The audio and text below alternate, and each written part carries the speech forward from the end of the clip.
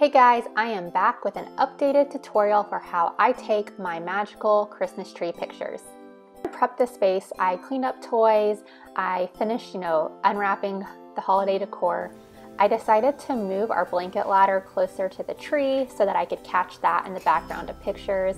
And then I brought down a few presents that my mother-in-law had already wrapped.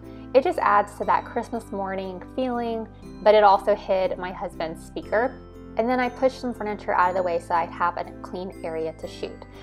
So the next thing you need to do is you turn off every light in the area. If you've ever bought light bulbs, then you know that lights have different temperatures, and to make editing easier and to add to the magic, you want one temperature of light coming from the tree. So this is from a different house a few years ago, and I'm showing you here all the lights off, but then we turned on some lights in the background, and you can see how it just takes away from that magic but it's also gonna make your editing a nightmare. Because of these lighting conditions, you're gonna have to shoot these in manual if you don't already do so, but don't get scared. So you're gonna take your ISOs and put them way up. So this year I was at 5,000, but I've gone even higher than that in the past. For shutter speed, I know without a tripod, I can't go any lower than 1 over 250, so that's a great place to start. For aperture, it's gonna depend on your lens. I'm at a 1.8 this year, uh, I think last year I shot between 1.4 and 2.2. And when I feel good about my setup and my settings, I bring in the boys. They were so excited to do that. So these are some clips from this year and a few years ago. I try to get the boys as close to the tree as possible with their faces pointing towards the tree. You can see how dark their faces get when they look away from the tree. So then I'm giving them prompts like point to your favorite ornament, oh, get really close and take a good look at it. And all these things are just to get some genuine reactions and getting them close to the tree.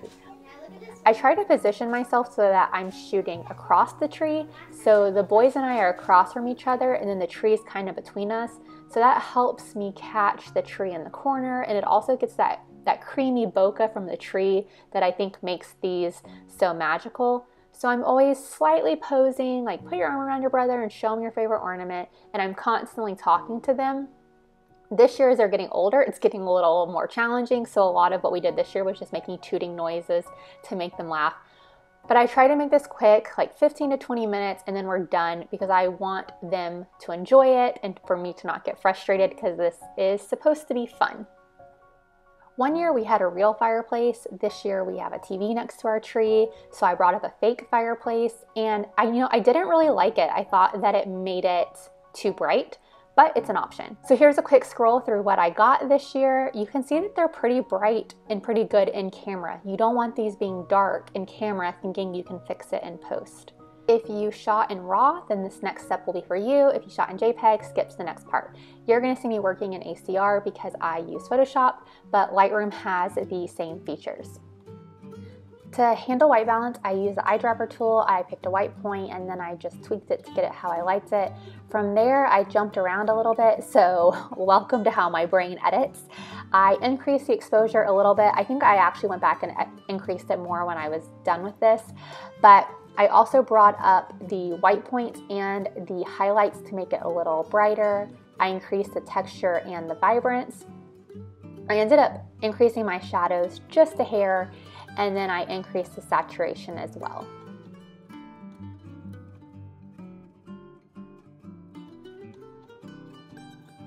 Then I went to the color grading tab, selected midtones, and added like a red orange color, just a little bit of it to give a little bit of warmth to the midtones. And then I like to flip between the before and after just to make sure I don't always trust my eye. But when I was happy with that, I copied those settings to the next picture in the queue. You'll see that I go up and I click that white arrow up above the histogram. That shows you where your highlights are blown out. I'm totally fine with them being blown out on the lights. I just wanted to make sure that his face was good. But all I'm doing from here is I'm just tweaking a little bit. So I'm, you know, editing a picture, getting happy with it, copying those settings to the next one in that group. And that helps me make sure that my editing is consistent and also makes it a lot faster. Because you're shooting with such high ISOs, you are gonna have some noise. So the last thing that I did was I selected all the pictures in this batch. I went to the noise tab. I put the sharpening at 10, the noise reduction at 25, and the color noise reduction on 5 that's just what I did. You can do whatever here. Um, you can just play around with it till you get it how you liked it. And then I opened everything into Photoshop for those last final little touches. From here, if you shot in JPEG, this is where you would pick up. If you don't have access to Lightroom or Photoshop, I'm pretty sure that you can demo those for free, but the process for the next part is the same for every picture. I crop it and straighten it if necessary, and I make sure that content aware is on. You'll see the computer um, fill in the edge for me, and that makes it so helpful. It's pretty good at filling in the edges that you cropped. Then with the patch tool, I'm going in and working on some of the shadows on his forehead. That's just me being picky, totally not necessary. He did have some crumbs on his face from dinner, so here I am cleaning those up. And then I flatten my image, and then I wanted to add a midtone pop. I have an action for that, but all you have to do is a curve and just take that middle point and pull it up a little bit. Here I am using a quick mask to select his face, so I'm just brushing that quick quick mask on his face. I'm going to levels and I'm pulling the triangles to the edge of the histogram and that just adds a little pop to his face. So then I'm going to make a new layer and I'm gonna work on that left side of the picture. You know, you can see the neighbor's light. That's why you wanna have all the lights in your house off, but there's obviously nothing I can do about the neighbor. So I am using the burn tool. You can also do this in levels, but I'm just burning the edge of that picture. For me, this is like when the picture really starts to pop and really feel magical.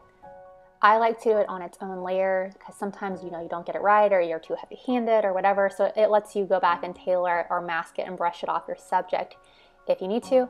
Then here what I'm doing is a few years ago I bought these Christmas tree bokeh lights on Etsy. They were very affordable and I think that they just kind of give your picture that little something extra.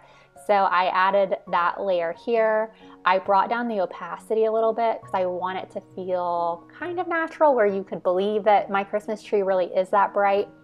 So I'm painting, you know, I'm masking some of it off. I'm taking it off the ornaments. I'm just following the natural, like the light that was originally on my picture. I'm following that and I'm just amplifying it.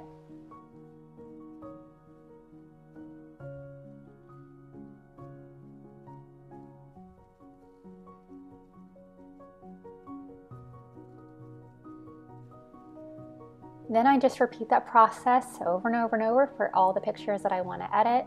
So it's, you know, cropping and straightening, cleaning up the face a little bit. These edits that I'm doing right here are just because I'm being super picky. They, you wouldn't even notice if I didn't do it probably. So I'm, you know, getting all his little imperfections off, mid-tone pop, brightening his face. And then I was going to kind of burn the edge, decided I didn't like it, so I took it off, saved it, and just went on and repeated that until I was done.